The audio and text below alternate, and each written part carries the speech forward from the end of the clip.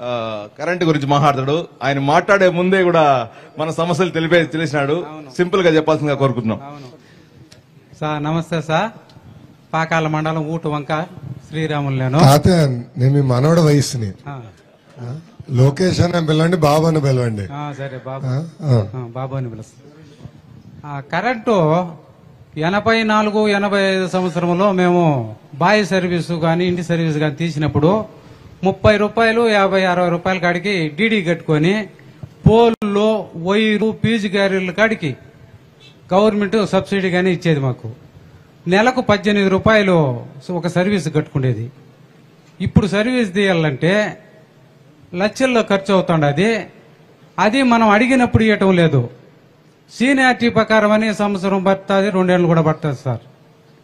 కాబట్టి రైతులకు అప్పుడు పద్ధతిలో పోళ్ళు వైర్లు ఫ్రీగానే వాళ్ళు ఎక్కడ బోర్ ఉంటే అక్కడికి ఫ్రీగానే ఇచ్చి పాత పద్ధతిలోనే ఛార్జీలు కూడా కట్టుకొని చేయాలని ఒకటి. ఇంకోటి మీటర్ల గురించి చెప్దాం అనుకున్నాను అది మీరే చెప్పేసినారు.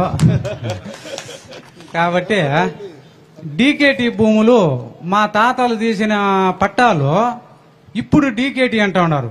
ఇంతవరకు రిజిస్టర్లు జరిగినాయి. ఆన్లైన్ జరిగింది. ఇప్పుడు డీకేటీలు అంటూ ఉన్నారు అది సమస్య. కాబట్టి ఆ సమస్య పైన కూడా మీరు స్పందించాలని కోరుతా ఉన్నాము. పశువులకు ఆసుపత్రులు అనేటివి ప్రతిసారి టౌన్కు ఆవులు తోలుకుపోవాలంటే కష్టం.